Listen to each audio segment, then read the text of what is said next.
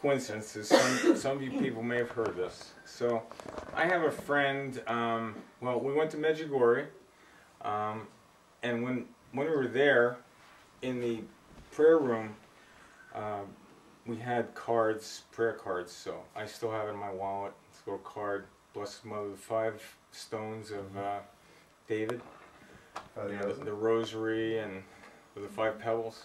What were, what were the? Confession, Father Mass, Joseph. yeah. Fasting. Fasting. Right. Bible. Exactly.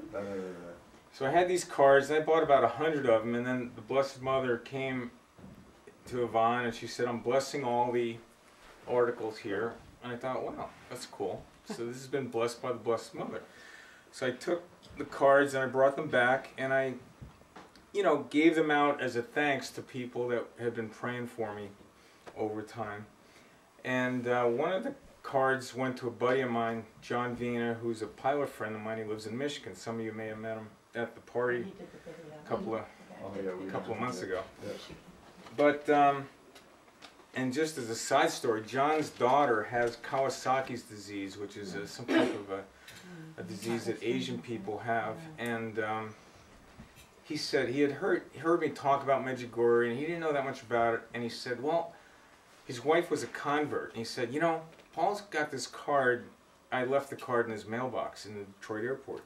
So he drives into the airport with his daughter. His daughter's about eight eight months old. She's screaming. She's in pain with this disease. Mm. And and uh, his wife's in the car, and he runs in and picks up the envelope that has the card in it. He says, you know, Paul said says that this card has been blessed by the the Blessed Mother in Medjugorje. He said we've been to Rome. We were blessed by the Pope, but as far as I'm concerned, you know, this this beats that. So he so they're kind of like, oh, that's interesting. But meanwhile, you know, his daughter's in the back screaming, and um, he he looks at his wife and he says, you know what?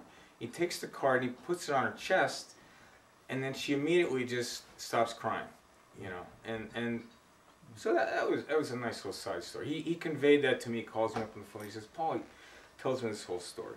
So then, so he's really the card is meaningful to him. So in the meantime, um, there was a girl in Central Mass, Well, Lennox. Her name was Kaylee, and she had brain cancer. And so we knew Kaylee because she was the niece of my barber, and so we were praying for her. And Father Tom would go out there quite a bit and say prayers for Kaylee. And so I started calling this guy up. I didn't know him from Adam, but I started calling up the father because it was Connie, my barber's brother. And I just out of the blue, I called him up, and we're we were talking, and you know, he, his daughter was dying of, of cancer, and I and I started telling him about the Blessed Mother, and about the Rosary, and you know, the importance of prayer. I, I talked to him about Medjugorje. I said, you know, maybe you might even consider. Uh, I told him about Artie's story. I said, you might consider taking a, a pilgrimage to to Medjugorje. So he he had listened, but you know, you never know what sinks in or not. So we continued to pray for him, and um, you know, time went on. And, and about six months later, my friend John in Michigan, he calls me up. He says, "Hey, Paul, um, you know that card you gave me?" I said, "Yeah." Said, "Well, do you have another one?" I said, "Well, um, yeah, yeah, I have another one. Why?" He says, "Well, you're not going to believe this, but I was on a layover in Florida, and I was riding on it. We were in Orlando, and I was riding on one of these passenger trams." and uh, it was the weirdest thing. Nobody else was in the car except another family, and the girl looked like she was really sick, and um, she, you know, so I just I, was moved, motivated by probably the Holy Spirit to give her this card. And so I pulled it out of my wallet. It was the card from the Blessed Mother. I told her, I said, "This is from the Blessed Mother," and the parents kind of looked at me like I was a little weird, you know, and but they took the card. I said, "Oh, that's that's really neat." and she said, he said, I, I said, what, you know, he said, well, the girl is, she's had a brain situation going on. I said, really? Wow, that's, that's weird. So, uh, then I happened to get a haircut, and Connie mentions that her niece was down in Florida, like a couple of weeks prior. So I'm like, no, no, this this can't be.